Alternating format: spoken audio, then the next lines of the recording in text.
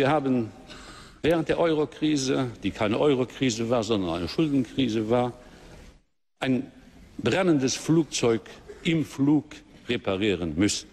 Das war nicht einfach, das entspricht nicht allen Anforderungen hoher Staatskunst, das entspricht nicht den Geboten ausgefeilter politischer Ästhetik, aber wir haben es geschafft, dass die Eurozone als Ganzes erhalten blieb. Ενωτικός και βαθιά Ευρωπαίος εμφανίστηκε ο Ζαν Κλοντ Γιούνκερ κατά τη συνεδρίαση του Ευρωκοινοβουλίου πριν την ψηφοφορία που τον ανέδειξε πρόεδρο της Κομισιόν και χαρακτήρισε μεγάλη επιτυχία την παραμονή της Ελλάδας στην Ευρωζώνη.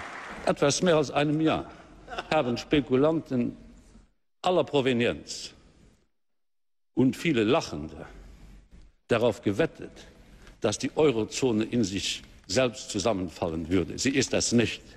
Es wurden an vielen, auf vielen Finanzplätzen Wetten abgeschlossen, dass Griechenland aus der Eurozone ausscheiden würde. Ich habe alles gemacht und ich bin stolz darauf, dass Griechenland, dieses tüchtige Volk, diese große Nation, immer noch Mitglied der Europäischen Wirtschafts- und Währungsunion ist. Ο πρώτο εκλεγμένο πρόεδρο τη Ευρωπαϊκή Επιτροπή επανέλαβε ότι χρειάζεται να γίνει πιο δημοκρατικό ο θεσμό τη Τρόικα Wir müssen die Troika neu ausrichten, sie demokratischer, sie parlamentarischer, sie politischer machen. Wir werden dies tun.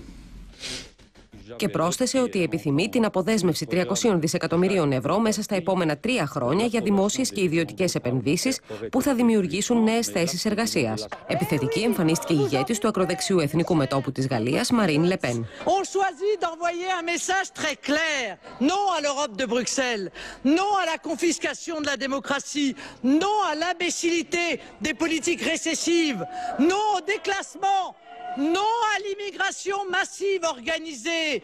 Non à la dilution de nos identités. Oui à nos nations. Je ne veux pas avoir l'assentiment de ceux qui rejettent, qui hainent, qui excluent. Merci, madame, de ne pas voter pour moi. Εκλογή από το Ευρωπαϊκό Κοινοβούλιο του Ζαν Κλοντ Γιούνκερ στη θέση του Προέδρου της Ευρωπαϊκής Επιτροπής δεν προωθεί τη δημοκρατία, καθώς εξοπλίζει ιδεολογικά το Διευθυντήριο για να συνεχίσει την πολιτική του συστήματος εναντίον των λαών της Ευρώπης.